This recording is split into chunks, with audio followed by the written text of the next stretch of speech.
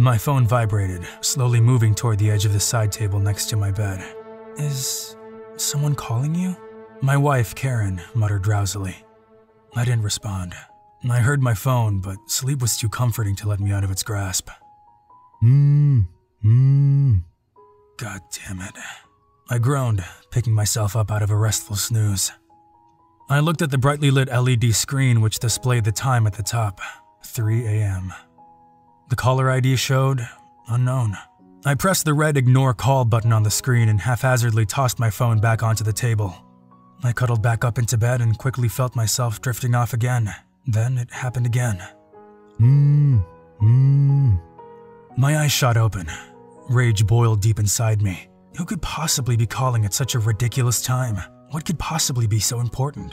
I whipped the phone off my nightstand and angrily pressed accept call. What? I barked into the phone. The voice that came through was eerie, the voice of a little girl that seemed both familiar and foreign at the same time. She drearily sang, Ashes, ashes, we all fall down. I took the phone away from my ear and looked at it in disbelief. There was no way. Absolutely no way. It couldn't possibly be her. She was dead. She'd been dead for years. The line went dead. Who was it? Karen asked. She sat up in bed and rubbed her eyes. Uh, I started. I only thought about telling her for a split second before the thought quickly exited my mind. I knew what would happen if I did. Scam, I replied, putting my phone back on the nightstand and pulling the blanket up to my shoulders. Deep sadness painted over my face. I let it flush and thanked God that it was dark and Karen couldn't see. She would definitely know what was going on if she could see my reaction. I felt tears beginning to well up in my eyes and fall silently down my cheeks. I closed my eyes and drifted off to sleep. I saw her face in my dreams that night, the face of my daughter, who hadn't been alive in four years come June. I saw her staring at me, laughing with joy. Her body slowly began to change. It started to decay. Her happiness faded. Her smile turned to a hateful scowl. Her skin no longer glowed with youth. Instead, it turned gray and void itself of any life. Her hair changed, turning black and stringy on her head. She looked at me and said that phrase once again Ashes, ashes, we all fall. She slowly began to turn to ash, blowing away in a vacant breeze. Down. That final line seemed to echo through my consciousness, pulling me from slumber in a panic. My breathing was shallow and rushed. My head spun and a deep depression took hold.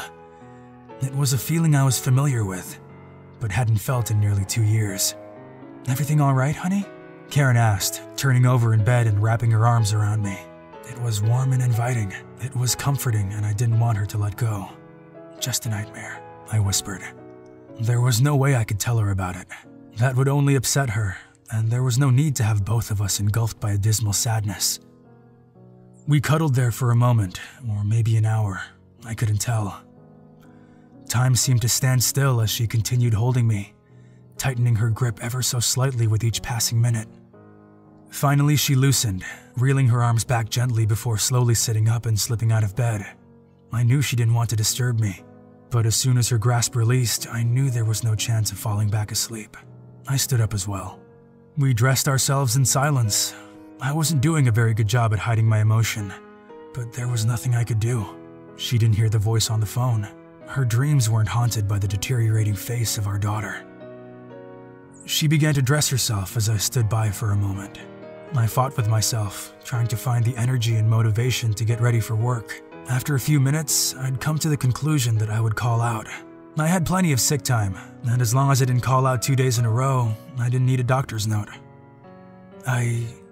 I think I'm gonna call in sick, I said to my wife after a few minutes. I plopped back down on the bed and laid back. Okay, baby, she replied. Her tone was somber, and I knew at that moment that she was onto me. Maybe see if there's a meeting you can go to today? Yeah, that's probably a good idea. She walked over to me and I raised myself up onto my elbows. She was wearing her typical gray pantsuit. It was stylish, and I enjoyed seeing her wear it. If it had been any other day, any other moment, I may have made some sort of advance towards her. Not today, though. She lifted me further, bringing me to a full seated position, and wrapped her arms around me. Her tight embrace made me forget all of my sadness, only for a moment though. It's okay to feel this way, she told me in a trembling voice. It sounded like she was going to break down herself, but she quickly released and took a small step back. She inhaled sharply and let it out slow. I've got a ton of meetings today. Otherwise, I'd stay home with you. No, no, I said, trying to sound reassuring. That's okay. I can get through this. Just having a rough morning is all. She eyed me for a moment, as if she was trying to see if I was lying. To be honest, I wasn't sure myself.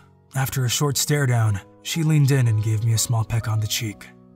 I love you, she said. We can talk more when I get home if you want. Try to have a good day, baby. She turned and exited our bedroom. I laid back once again, rubbing my face in a vain attempt to wake myself up slightly. I could hear Karen rustling through the kitchen.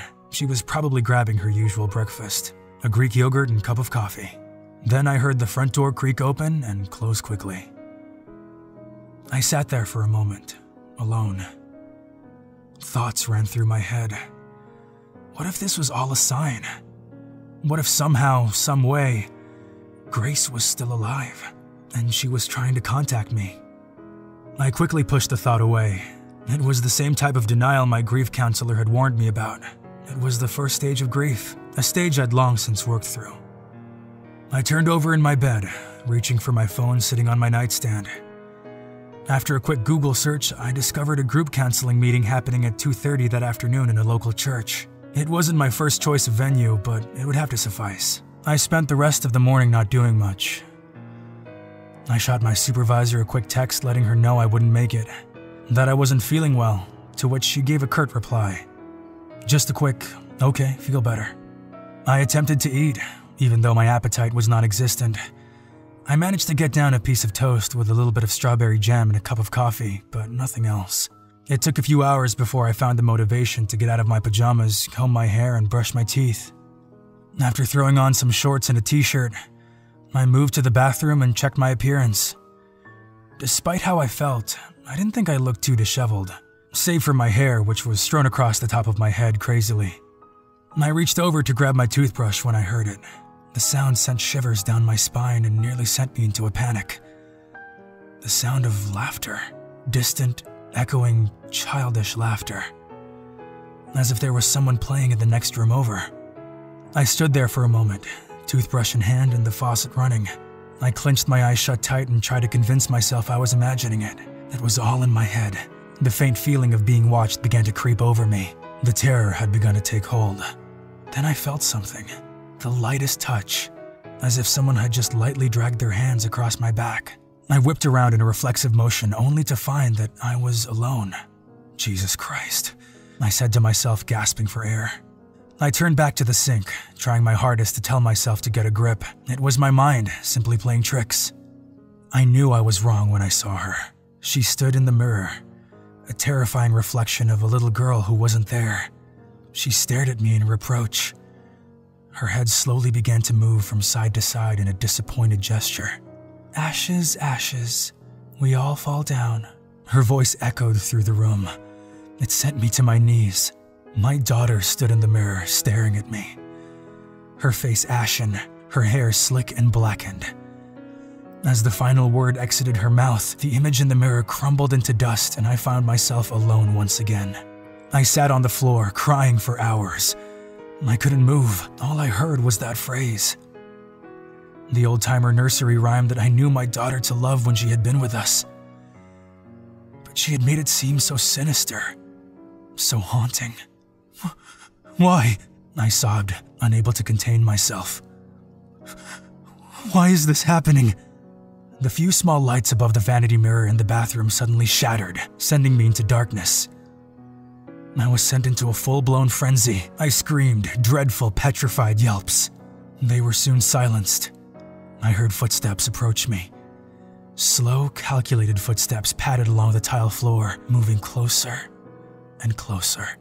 Don't worry, Daddy, I heard a voice say. I looked up, struggling to see through the lack of light. There was a shape in front of me, a figure of a small girl, just standing, staring. Grace? I asked, trying not to break down into hysterics again. Don't worry, Daddy, she repeated. You'll join me soon. The room fell silent. I sat there on the floor, sobbing for another hour or so before finally finding the strength and courage to get back to my feet and leave the darkness of my bathroom. As I opened the door, the light flooded into my eyes. It was bright. The pale yellow glow of the sun shone through the windows, illuminating my bedroom. I had no possible way of explaining this encounter. This felt like more than just grief. These ghostly confrontations were something beyond the seven stages of a grieving father. These were a sign. I needed to atone for my actions. I needed to make peace with my daughter's death. I needed to bring her untimely demise to justice. Her death was deemed to be an accident by investigators. They said it was nothing more than a little girl who couldn't swim that had found her way into waters too deep. I knew the truth. Karen knew the truth as well. Parenting was hard. It wasn't for us. We had no other option, and now, Grace was making it known that her soul would not rest until her killers were brought to justice. Until her parents met their demise. I can't find it in me to take another life, though. I can only do what I can for myself. By the time you read this, I will have done it. It's the only way to make things right. I've got the gun in hand. I'm just staring at the metal barrel, waiting for the right time. Waiting for these oxycontins to kick in, to numb the pain and anxiety. Then, I will make right for the things I've done. Maybe by the time Karen finds me, Grace will have already visited her. I think I can hear her calling now. She beckons me in that terrifyingly beautiful sing-songy voice of hers. I'm starting to feel peace with the decision I've made. I think this is it. I'll be with my daughter. I'll be able to apologize and be the father she needed but never had. Ashes, ashes. We all fall.